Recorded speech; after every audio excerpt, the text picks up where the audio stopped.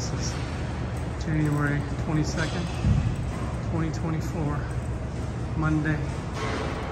Monday night about 8.30. And she comes back. I just did two and a half lengths. Let's see if she can go back.